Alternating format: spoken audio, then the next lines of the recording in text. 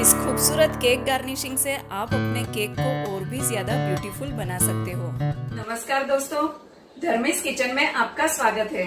आज हम बहुत ही आसान विधि से चॉकलेट गार्निशिंग की रेसिपी देखेंगे, जिसका हम केक डेकोरेशन या फिर कोई भी डेजर्ट को डेकोरेट करने के लिए यूज़ कर सकते हैं। केक गार्निशिंग के लिए यूज़ होने वाला मटेरियल कहाँ से मिलता है, इसकी प्राइस क्या होती है, ये सब भी आज हम इस वीडियो में देखेंगे। तो वीडियो को ध्यान से देखिएगा। तो चलिए दोस्तों, शुरू करते हैं बनाना। बहुत ही आसान विधि से चॉकलेट गार्निशिंग। ये है ओ एच पी शीट। अगर आपको चॉकलेट गार्निशिंग में शाइनिंग चाहिए तो ये ओ एच पी शीट आपके पास होनी चाहिए। ये आपको कोई भी स्टेशनरी शॉप में आसानी से मिल जाएगी, या फिर आप ऑनलाइन भी सर्च कर सकते हो। मैंने 250 में ये 50 पीसेस का पूरा पैक लिया था। आप चाहे तो बटर पेपर भी यूज़ कर सकते हो, लेकिन बटर पेपर से चॉकलेट गार्निशिंग में इतनी शाइनिंग नहीं आएगी। अब हम डार्क चॉकलेट को मेल्ट करेंगे। यहाँ मैंने थ्री फोर्थ ग्लास जितना पानी गर्म करने के लिए रखा है, उसी के ऊपर डार्क चॉकलेट वाला बाउल रखेंगे।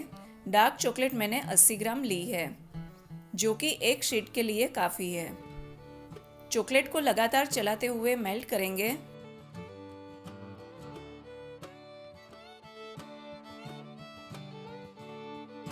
यहाँ हम देख सकते हो कि चॉकलेट अच्छे से मेल्ट हो गई है, जिसे गैस से उतार लेंगे और रूम टेम्परेचर पर आने तक ठंडा कर लेंगे।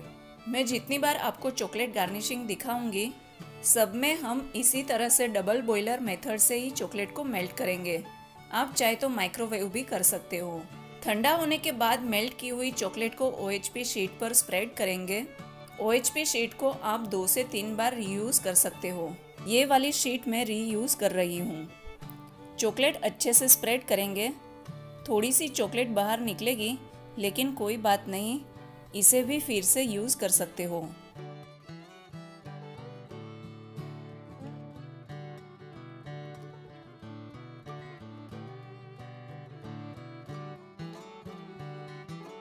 अब इसे इस तरह से आगे पीछे करेंगे तो चॉकलेट इवनली स्प्रेड हो जाएगी।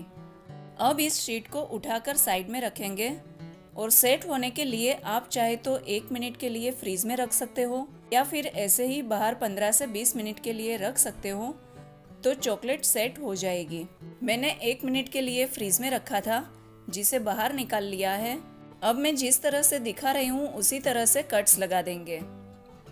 कट्स को दो बार रिपीट करेंगे, क्योंकि लाइंस अगर मर्ज हो गई तो चॉकलेट कर्ल्स अच्छे से निकलेंगे नहीं।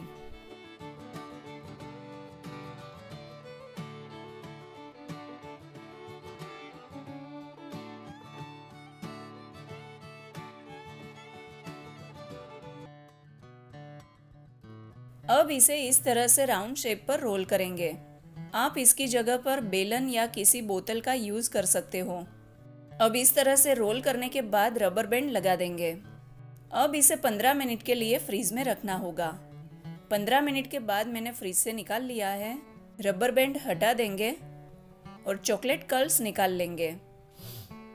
एक दो चॉकलेट कर्ल्स टूटेंगे भी, लेकिन टूटे हुए कर्ल्स को आप फिर से मेल्ट करके यूज़ कर सकते हो।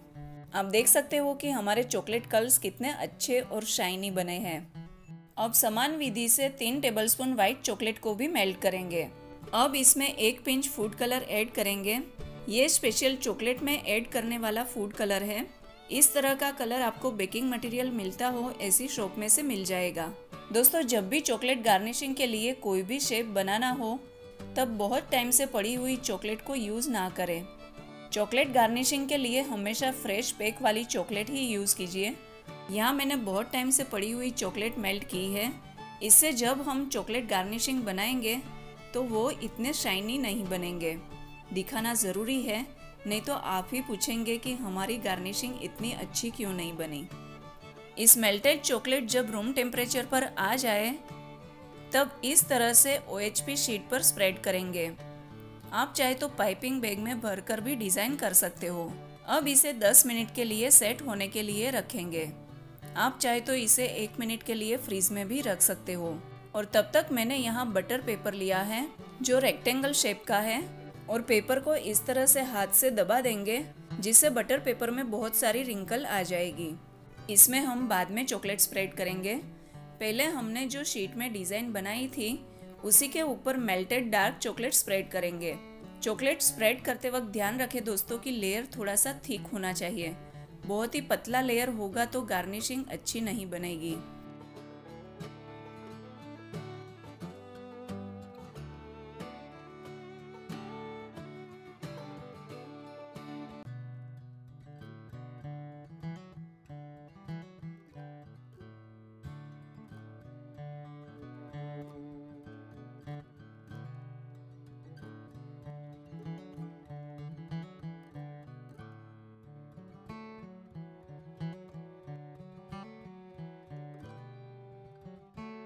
तो यहाँ हमने दोनों शीट पर डार्क चॉकलेट स्प्रेड कर ली है।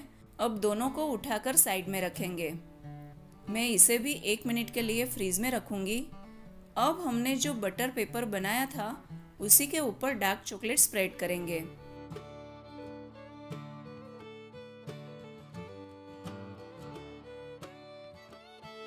इसे भी एक मिनट के लिए फ्रीज में रखना होगा। यहाँ मैंने पहले वाली शीट फ्रीज से निकाल ली है। जिस पर इस तरह से कट्स लगा देंगे।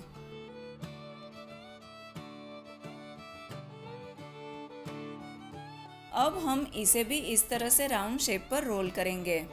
लेकिन जब भी हम इसे राउंड चीज़ पर रोल करेंगे, तब ध्यान रखेंगे कि चॉकलेट हार्ड नहीं होनी चाहिए, नहीं तो रोल करते वक्त ही चॉकलेट टूटने लगेगी।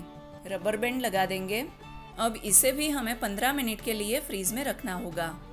चॉकलेट सेट हो गई है कि नहीं, ये देखने के लिए आप हाथ लगाकर चेक कर सकते हो। जो उंगली में चिपक नहीं रही है, लेकिन ये इतनी हार्ड भी नहीं है। मतलब हमें चॉकलेट को सेमी सेट करना होगा। इस शीट में हम इस तरह से कट्स लगा देंगे। मुझे इसमें स्क्वायर चाहिए, इसलिए मैंने यहाँ 12 समान पीसेस कट किए हैं। आपको जितने छोटे या बड़े पीसेस चाहिए, आप उसी के हिसाब से कट्स लगा सकते हो।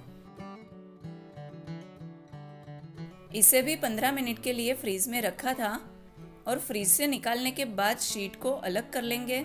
आप देख सकते हो कि स्क्वायर बहुत ही अच्छे बने हैं, लेकिन पुरानी चॉकलेट यूज़ की थी तो इतनी शाइनिंग नहीं आई, लेकिन कोई बात नहीं, हमारी डिज़ाइन तो अच्छी बनी और इसी बहाने हमारी चॉकलेट भी यूज़ हो गई। इसी तरह से आप कोई भी शेड में अलग अलग चॉकलेट स्क्वायर, चॉकलेट कर्ल्स बना सकते हो।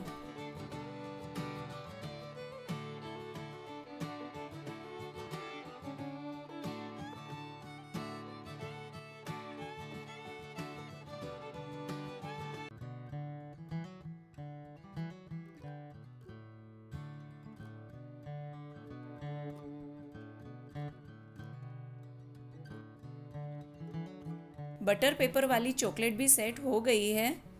इसमें भी साइड्स निकाल देंगे ताकि हमें परफेक्ट स्क्वायर मिले।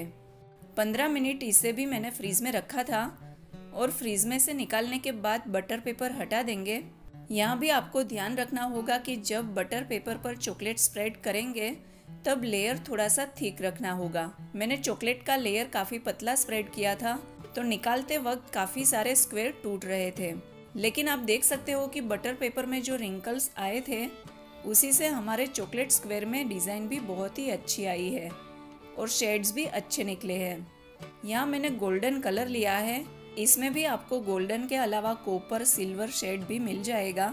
ये भी आपको बेकिंग मटेरियल मिलता हो, ऐसी शॉप में से मिल जाएगा, जिसकी एक बोतल की प्राइस 100 से लेकर 150 तक मिल जाएगी। ये गोल्डन कलर भी खाने वाला कलर ही होता है। तो आप इसे बटर या तेल में मिक्स कर कर भी स्प्रेड कर सकते हो, या फिर इस तरह से ड्राई कलर भी स्प्रेड कर सकते हो।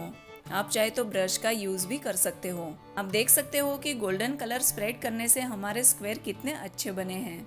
दोस्तों, जो बातें मैंने आपको बताई है, उसी को ध्यान में रखकर अगर आप चॉकलेट गार्निशिंग बनाओगे तो आपके चॉकलेट गार्निशिंग भी बहुत ही अच्छे बनेंगे। वीडियो को लाइक कमेंट और शेयर करना ना भूलें। मैं घर में फिर मिलूँगी ऐसी ही आसान सी रेसिपी के साथ।